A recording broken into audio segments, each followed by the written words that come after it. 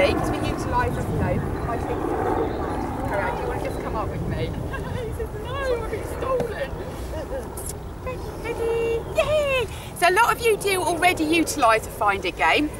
The reason we like Find It is not just the fact that it, it satisfies that chase response for those dogs that are very chase motivated, but if you look at the amount of time that Brandy's actually got his eyes on the ground, he's actually not staring at the other dogs. We know that staring at other dogs, making eye contact is actually quite scary for some dogs. Um, so there is a limited amount of time that he's using to stare, and also we can get him to move away, we can get him to turn away by playing the find it game.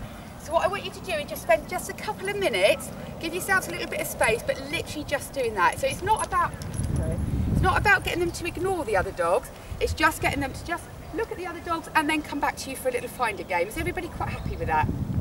let's have a go. So we do it at the moment just on the short lead. So if you want to take yourself out, and if you can then just come back to your little spots here, that would be brilliant. Just give me